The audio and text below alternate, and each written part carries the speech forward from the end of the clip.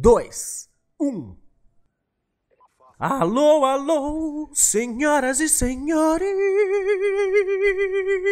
Caralho, ficou meio evita esse negócio aqui. Vou tentar não fazer mais.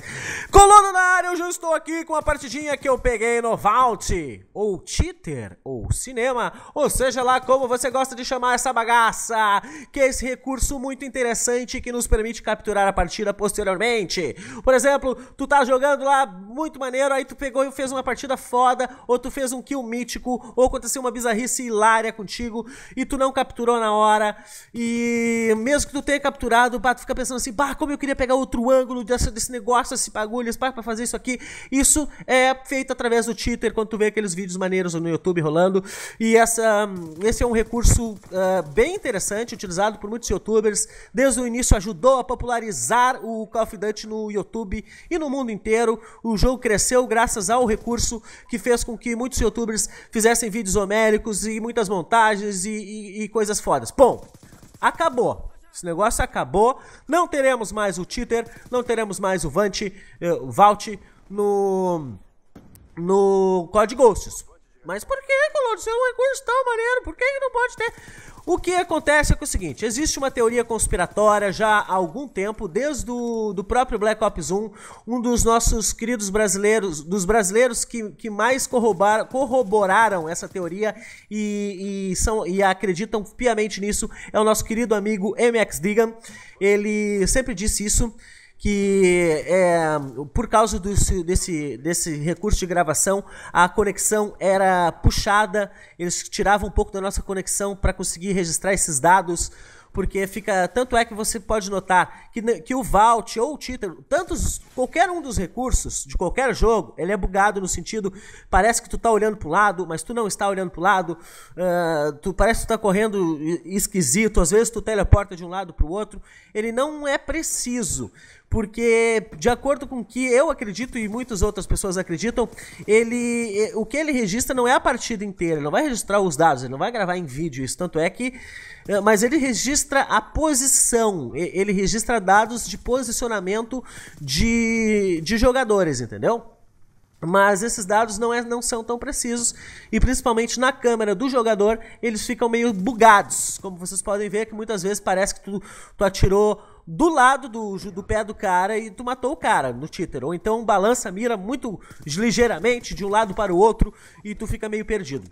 Então, qual é a opinião de vocês a respeito dessa teoria conspiratória macabra que diz que a conexão é prejudicada pelo o cheater, ou vault, ou cinema, ou seja lá como você gosta de chamar esse recurso uh, que eu acabei de explicar para vocês? Coloca nos comentários aí, eu fico muito em dúvida, porque às vezes uh, eu noto que eu tenho, um, apesar de aparecer quatro barrinhas para mim ou quatro barrinhas para todos os, os meus uh, teammates e, e, inimigos, eu percebo que, que existe um, um, delay, um certo delay entre o momento em que tu a, começa a atirar no cara e as balas começam a pegar nele. Por, por, mais, por mais que apareça que são quatro barrinhas. Eu, eu noto que tem alguma coisa esquisita. Tem alguma coisa esquisita com esse COD. É, o Black Ops 2 ele, ele é muito bugado. Às vezes tu tem uma conexão perfeita e às vezes tu tem problemas absurdos de conexão. Então eu gostaria que vocês me ajudassem aí com a opinião de vocês. Coloca nos comentários. Vou aproveitar esse vídeo também para me desculpar com vocês pela ausência dos últimos dois dias. Uh, eu tive alguns contratempos, nada muito forte, nada muito interessante, nada muito que, que pudesse pesar em alguma coisa, mas eu não pude uh, gravar para vocês, então estou me desculpando aqui porque, como vocês bem sabem, agora eu estou de volta. É, vídeo todo dia, vídeo bom todo dia, é assim que, a gente, que o youtuber bom tem que fazer. É. Mas vamos aproveitar e vamos falar um pouquinho da partida então, o que, que vocês acham? Olha aqui no Bada do meu colega. Não, sério, vocês viram meu colega ali? O cara tava do lado, tava aparecendo o inimigo no minimapa e o cara não prestou atenção.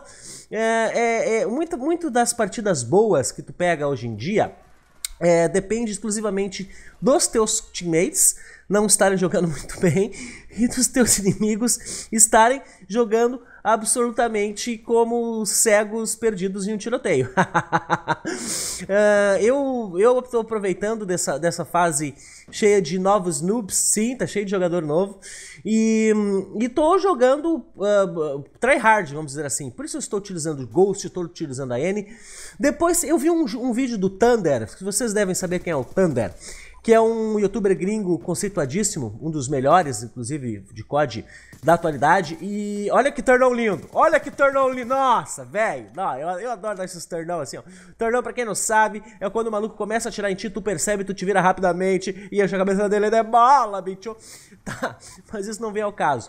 Uh, como eu tava falando, o Thunder, ele, ele chegou à conclusão que no momento que tu faz prestígio master e, e, e, tu, e tu atinge level máximo, tu é obrigado a jogar de AN e silenciador. Sim, e Ghost. Tu é obrigado. Por quê? Porque todo mundo usa.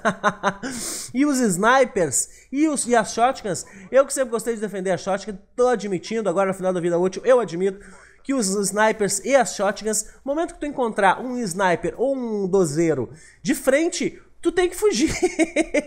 Basicamente, tu não tem o que fazer. Encontrou um sniper ou um cara de, de Hamilton, se o cara tá usando a KSG ou, ou qualquer outra 12, ele ainda tem um, o benefício da dúvida, porque o cara tem que ter habilidade para jogar com as outras 12. Agora, se for a Hamilton, velho, porra, eu, eu, eu, não gosto muito dessa palavra noob, noob friendly, essa frasinha, mas não existe nada uh, que possa ser taxar o, o, o quanto quão apelão são as 12 e as shotguns desse jogo como noob friendly. friendly.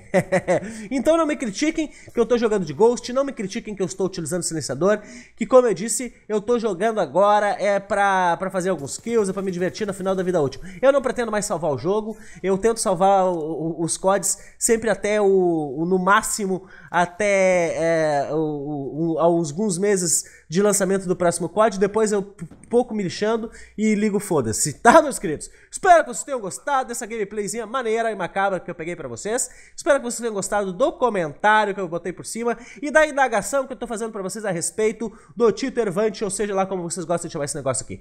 Tá, meus queridos? Beijo do colono, tudo de bom. Hoje de noite provavelmente teremos uma live depois do funk. Vamos ver. Se der certo a gente faz. Beijo do colono, tudo de bom e bye!